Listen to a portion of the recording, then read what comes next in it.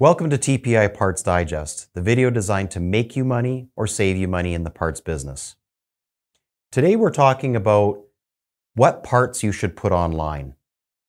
When we first get people interested in, in truck parts inventory, their natural inclination is to want to put all of their parts on the internet.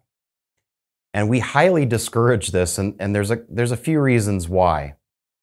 The first one is and, and it sounds kind of funny, but you need to walk before you can run. We recommend that you start off with the major componentry first the engine, transmission, differentials, the cab, the hood, the big, big pieces. Those are the pieces that are going to generate the most revenue right off the bat.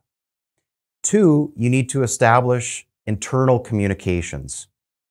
So when you, you're, you're walking before you're running, you're putting your big componentry in.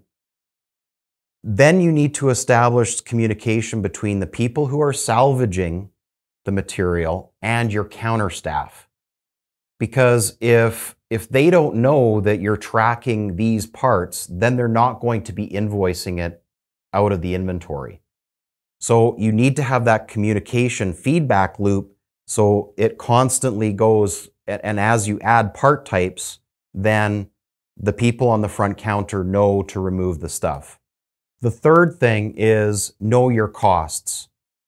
So you're again, you're you're walking before you're running. You need to know what those costs are to to inspect the part, to remove it, and to track it in order to know what your costs are so you're not spending more doing that stuff than you are charging for the part. We've had customers that go in and they start taking these small parts off, but they soon realize after maybe after too long that it doesn't make sense for them to track that part. So to recap, what you need to do is walk before you can run.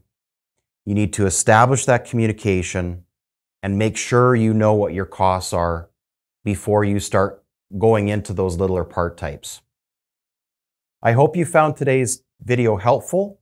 If you want more information on how to track parts, go on over to truckpartsinventory.com for more information. Thank you for watching. Now let's go out and sell more parts.